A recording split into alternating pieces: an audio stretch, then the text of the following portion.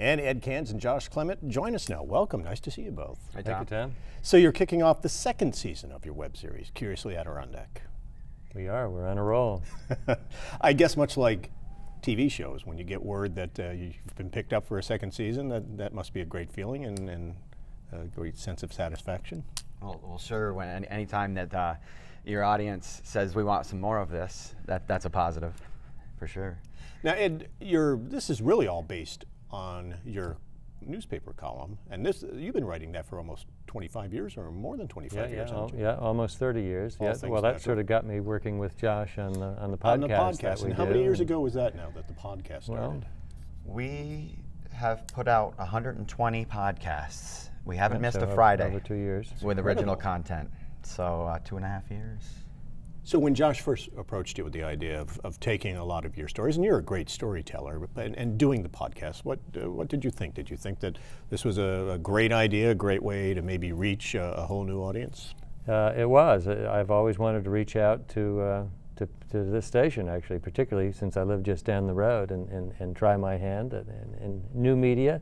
As a writer, has been writing for a long time. It's fun to, to find new audiences. And being an old dog, it's good to learn new tricks along the way. and and uh, when I met Josh, I thought he's just the guy to get involved with professionally because the quality of his work is so high. So. Uh, we got started and, and then, then doing the audio stuff led to the idea that why don't we do video, which is really Josh's strong suit and was totally new territory for me.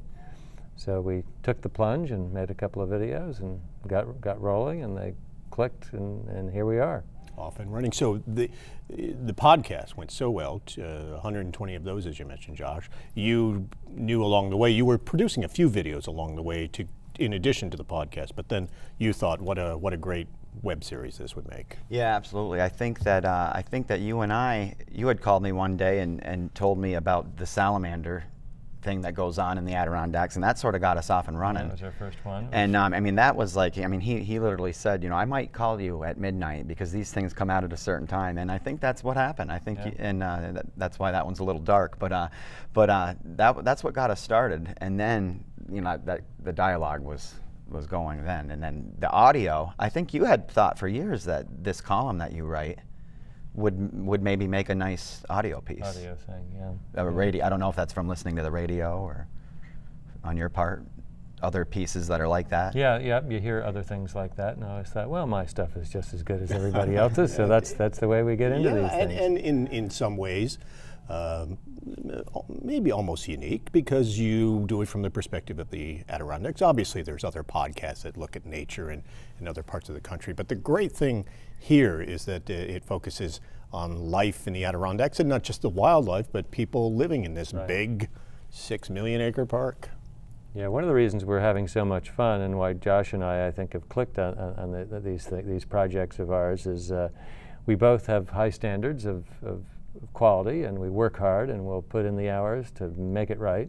But at the same time, we, we approach it with a light spirit and we're open to the spontaneous things that happen along the way and we like a good laugh now and then. And so there's a, uh, even in the, the, the straighter pieces, there's always an undertone of, of humor and playfulness, and, and that makes it fun for me to do, and I think it does for Josh too.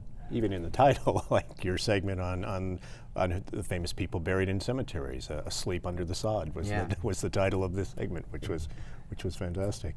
You mentioned so the first one you shot was the salamanders. That that time in the spring where um, nature calls and they go looking for their mates, and, and you have them crawling across the roads and just about everywhere uh, in the spring when you get that, that first rain. And uh, that must have been wild to, to try to shoot, to, to have them crawling all over the place. Oh, absolutely. And I, I, I've been here my whole life, and I've heard of salamanders, and I've seen them from time to time in the woods. But you know, he tells me, well, wait a second. These things come out and they cross the road, and this, you, you know, he pointed out there. This is now an opportunity where you will be able to capture these things.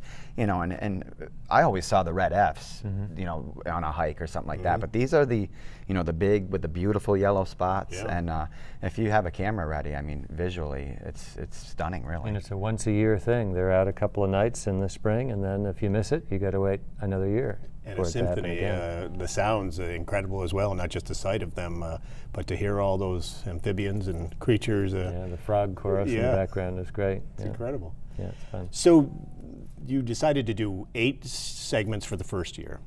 And really, you, like you said, Ed, you really cover quite a bit. Some of them are very humorous.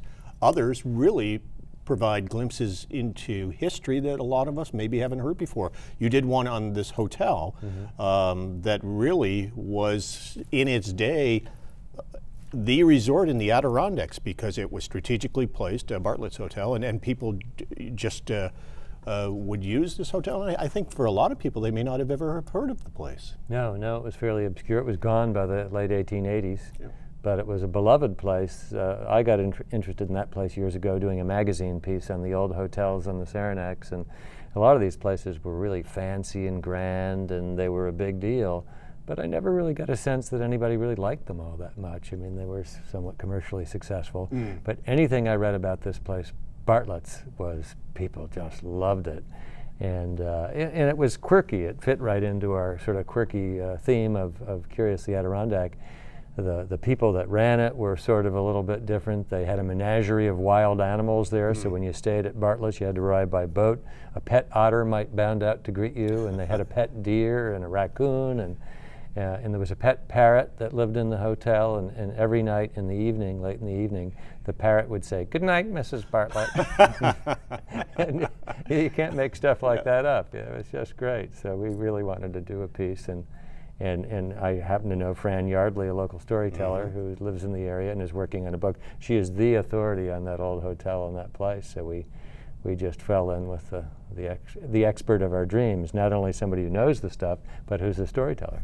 Any remnants of that hotel left at all, or is it completely gone? Not gone? really. I mean, you can you can see the site, but it's just a, a, a patch of grass next to a river, and it's it's gone. So you can imagine what I thought when he presented this idea of telling this great story about something that's not there. Makes it a challenge for Yeah. the videographer, right? sure, sure. But I think that particular one was you sort of had the Ken Burns thing on your mind. Yeah, And, yeah. and uh, we, we've tried to do that once or twice uh, to keep up with the Ken And it Burns really of the does add to the story if there's really nothing left, and, and just imagine what was there, uh, you know, uh, almost 200 years ago. Uh, uh, that, that makes for incredible storytelling uh, when you can uh, can bring that to life. And there's some wonderful photos and things, and, and like Fran Yardley had a, a plethora of just great images, and it, it really, I learned a lot. It was great. Yeah, stories like that to me are just so poignant because uh, I mean, here we are in our time, but you know, our time will come and go, and there will be a day when people will reminisce on the, the good old days at Mountain Lake PBS when the three of us were sitting here at the table. That's right. Maybe somebody will, and uh, so it's. Uh, you know, as we look back to their time and all those people are gone, it's all gone. And, and, you know, our time will be all gone one day too.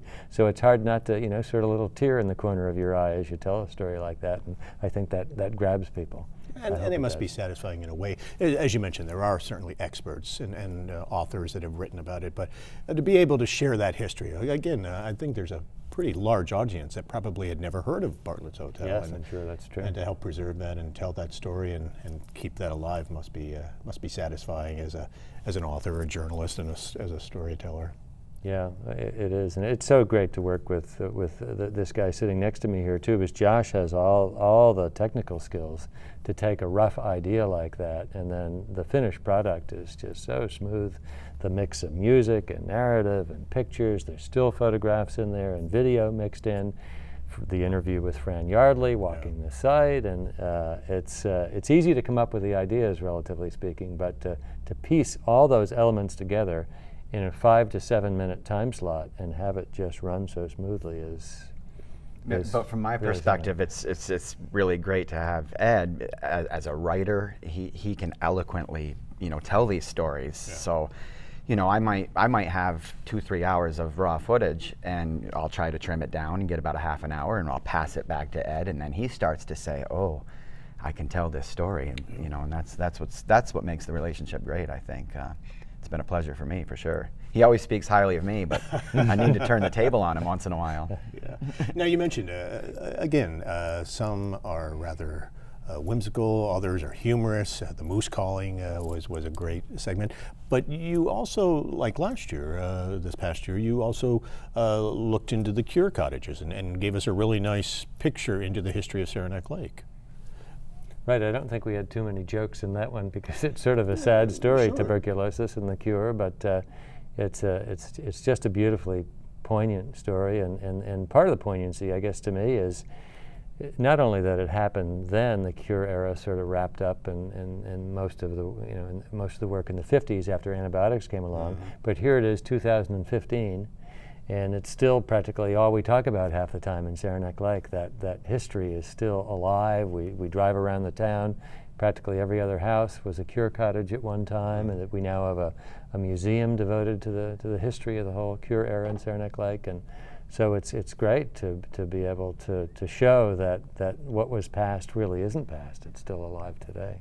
And, and, and for some somehow that piece does have its sort of upbeat feel to it. Um, we're talking to people that still live in these houses, and they smile when they talk about the the people that lived there before them. And sometimes it was family, sometimes it was friends of family. But but um, you really noticed when you when you're talking to the people that live there still that it, it's not really a melancholy situation. They they there's a lot of history there, and they're they're very um, they find it very fascinating and interesting, and, and it, it brings out smiles.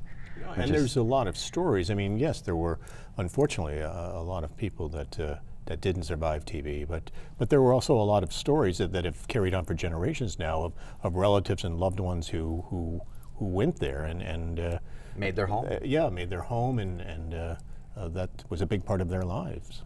Yeah. Yeah, one of the neat uh, footprints, sort of, of the, the whole TB era, which doesn't get talked about that much, I think, is Saranac Lake is the community Josh and I both live on the ed- edge of it. It's an amazing town full of really interesting people from all different viewpoints and things. And uh, I know when I meet people from other places in the country or downstate, they think this little town in the Adirondacks at most you know, must be just a bunch of sort of, you know, fairly, you know, a nice town, but fairly narrow and but it's anything but that. And I think we actually have the TB era partly to thank for that. It brought people of all different walks of life and to some degree people from around the world came to cure. Many of the people who came to, to cure or to work remained afterward. And uh, so we really are sort of a, here in the mountains, our, our little town is a hotbed of, of diversity, of political viewpoint and religion and, and all sorts of things. And And with the Trudeau Institute Yeah. still there, a Right. renowned scientist still still working on infectious diseases and and and uh, other great work going on uh, at that uh, lab there. So yeah. we look ahead now, second season. Uh, you've already got one segment that uh, premiered this week. Uh, the uh, the first segment. Tell us a little bit about that. Uh, I'll let you take the way. Uh, Ed is the master goat aficionado. Well, uh, uh, my, my wife talked me into taking our kids to a kidding this spring, which is a, a the sort of a debutante ball for baby goats at Asgaard Farm over in Au Sable Forks. And of course, my kids, nine and eleven at the time, immediately fell in love with uh, two little baby goats, and they are now members of our household They are back aha. home. So, uh, and, and, and, you know, whenever you get into a new hobby or new field of interest, you make friends that you never would have even imagined that people like that existed before. So now we're, we're making goat friends. There are people out there who just live and breathe goats. And they're charismatic animals, they're charming, they love human company, probably even more than dogs do and it's uh, it's it's a bit quirky and fun. And so uh, anyhow, yeah, Josh and I we visited some of the, the people around who are, are who are players in the world of goats, and uh, had a lot of fun putting that one together. it might be one of our more in-depth uh, uh, coverage. We've been to four locations, I Yeah. think. Um, we've interviewed seven people, I think. Um, and yeah, there there's kids. There's uh, uh, the lady in Jay who's. Uh, Nadine McLaughlin, who's she- so eloquent speaking about goats. I mean, to sit across the table from her and listen to her talk about her, and she no longer has goats, and, and the reason sort of being that she can't, that she's kind of grown. Well, uh, they live long. She and her husband, I think, are in their 70s, and goats can live 15 years or so. And Mm. so they're thinking maybe it's time to, to not get new goats. But And she there's missed a 'em. there's a tear in her eye when she says that. They're their kids. Uh, I they are imagine, your in many kids, ways. yeah. And uh, for you, uh, how is this taking on? Uh, uh, now being the proud owner of, uh, of a couple of goats, were you prepared for this, and uh, how's it? well, it's been a huge amount of work because we didn't have a barn, so I spent uh, I spent a month or so building a very tiny barn, which is probably too tiny. So I might be building another barn before the year is out, uh, and uh, yeah, it's it's a lot of work. And the goats are one of the great things about them is, uh, and Nadine made this point in the interview, is, uh, is they're so interactive. Goats just love to be around you. I went down to the goat barn one day and read them a 45 minute story out of a book. I, I, I wanted to know how long it would take to read the story for, for, for another project. And uh, they, they, they just ate it up. They just love your company. But they love it so much they don't want uh, to be out of your company. So they cry when you drive. When I drove away in the car this morning to come up here to Mountain Lake PBS, they cried as they no drove kidding. away. Just broke my heart. I almost, uh, I almost called Josh and said I'm not coming, and went back and crawled in with the goats. So uh, yeah, they're they're amazing beings, and they they take a lot of time, just like children do. But Now, as adult goats, when you say they, they would eat it up, uh, literally, you would have to worry at some point about them eating up your manuscript. Uh, Well, it's funny. It's interesting. They're actually fairly finicky eaters. They don't really quite live up to their reputation, but they they like to try everything. They explore the world. They're just like a, a one-year-old. They They explore the world with their mouth. So everything they see, they've got to put it in their mouth and and and, and see what it tastes like. Most things they don't actually eat, but uh, but they'll they will try anything. We'll So- probably try and get a monitor down there, and we'll test out each Curiously Adirondack with the goats first. and see if it passes. And see if it passes. They're your focus That's right. group. Focus Yeah. group. yeah. Yeah. Then we'll hit the airwaves. Yeah. Well, that's amazing. So, with all your other job titles, uh, now goat farmer, add Yeah, to that's uh, right. Adirondack good. guide and author, and Yeah. that's fantastic. So, what are some of the other segments you're working on uh, for, for this year as we head into the summer? Well, we have uh, we, we've said um, I've said all along, and I've chatted about it that we'd like to do a music themed one, uh, perhaps an Adirondack musician or band. That's that's uh, and sort of what it's like to be a working musician in the Adirondacks. I'm a musician myself, so I know some of the trials and tribulations that go along with that. So there'll be a music themed one for sure. And Josh has pointed out that the folk scene gets well covered in the Adirondacks, but the gritty rock and roll scene Right. doesn't. The garage so we- band. so we might go find an Adirondack rock and roll band or Ah, two. yeah, the folk scene it. obviously with songs to keep, and, and uh, uh, the past couple of years, a, a lot of uh, the, the folk singers. But Yeah, we're rich and wonderful folk singers, but as Yeah. rock, Josh points out, we're, we're rich and great rock bands too. Not rich, but, but but they're there. But but um yeah, so that that'll be a fun a fun segment, and then we're also going to look at um our hometown of um, St. Armand, Bloomingdale area. There's a lot of history there. That one might lend itself more to a sort of uh, like we did at, at Bartlett's Hotel. Um, there's a lot of historians and a lot of really neat people there, and Ed, Ed, that was one of Ed's ideas, and I think that'll be a lot of fun. Um, we're also looking at going to Old Forge. Um, the Adirondacks are much bigger than uh, it's, it's actually hard for us to um, to cover all of it, but Sure, uh, resources and things. But uh, there's no shortage of, of good stories in the Adirondacks. But we do plan to get down to Old Forge, and uh, then that'll be a lot of fun. There's sort of two big centers of tourist tourists focusing into the six million acre Adirondack Park. One is the Tri Lakes area, Lake Placid, Saranac Lake, Tupper Lake, wh- which is the area where we live. But for many people, the, the sort of the epicenter of the Adirondacks is the Old Forge area. It is, so we thought it's really important to get down there and, and, and see what's going on down there. And they have an incredible gallery down there, a view gallery, uh, that is really the center of, of the village now and just a, a, a great place uh, to, to explore all kinds of Yeah. exhibits and photo uh, uh, galleries. And uh, yeah. Yeah, it's a great little town. And then uh, there'll be, uh, we've looked at doing something at Paul Smith College. You know, what we've tried to do is, is uh, each one is drastically different, as we can start to see that. And, uh, and again, last year we had said a few times, wouldn't it be fun to touch on a culinary component? We haven't done anything with food really. We have done um, some stuff with farms, but um, and I think that was sort of a, something that you had looked at. Yep, that would be a nice idea for us. And Paul Smith College has that One of great the culinary. culinary schools in the, in the region, sure. And uh, what else is on the Well. Josh knows of a, of a cooper who makes uh, Oh, yeah. wooden barrels in, in Wilmington, is he? Wilmington, yeah. And uh, the barrels are used for bourbon. Well, right? there's there's an interesting story there. He's hopeful. He's hopeful. no, I, I'm hoping. Um, but uh, interestingly, this guy made barrels for uh, saunas he made big, huge barrels, and they were saunas. And I think that that was, um, you know, a big part of his business. But in recent in recent years, and you, you may have heard, you know, bourbon has been has taken off as far as uh, booze is concerned, and uh, and so there's a need for barrels, so to age to age the bourbon, and so.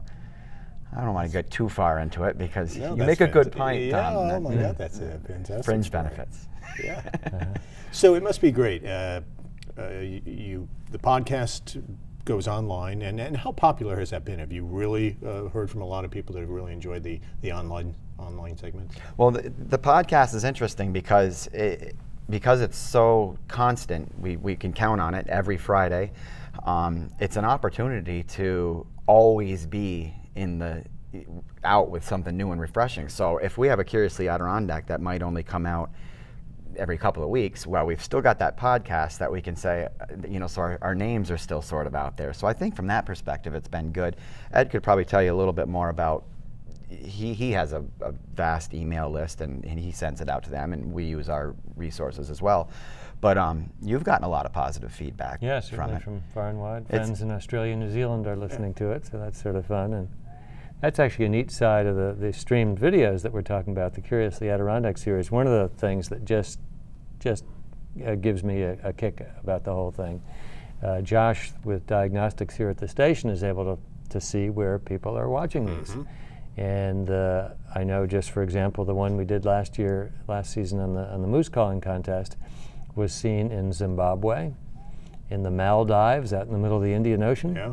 uh, Argentina, uh, all over Eastern Europe, Western Europe, Asia, South America, North America. I mean, the, the, the planet is, is taking in these Curiously Adirondack videos, and it's, it's just amazing. amazing. And uh, I know analysis in the industry is TV uh, uh, increasingly is moving strongly into this area of streamed stuff through the internet. So uh, I've always thought of myself as sort of a pri- technologically primitive, backwoodsy kind of a guy, and here I am working with Josh, uh, moving into the 21st century of stream video. So it's a, it's a bit ironic for me professionally, and I'm, uh, it's a, I'm having a blast. Again, uh, they will now be on Mountain Lake Journal as well. Uh, we'll be seeing um, the, the segment on the goats coming up in, in within a couple of weeks. But again, uh, folks can head to mountainlake.org and watch it right now this week, uh, the first uh, segment of the second season. Josh Clement and Ed Kanze, thanks a lot for taking the time to be with us. Yeah, thanks, Tom. Thanks for having us, Tom.